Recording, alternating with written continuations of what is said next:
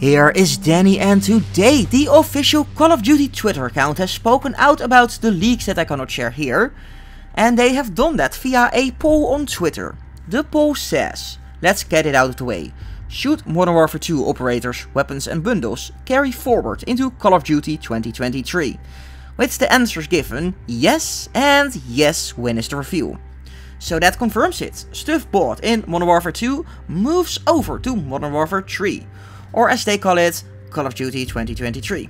Although we do already know the name due to DMCA claims on Bob Network UK, which calls it Modern Warfare 3, so that's fun.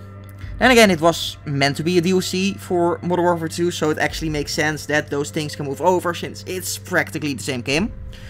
It also has surprised me that the Activision ninjas haven't killed him yet. But that is a different story. I guess Nintendo's ninjas are just better. And they're Japanese, so that makes sense. But hey, that is all got for now. Subscribe for more. This was Danny and I see you on the battlefield.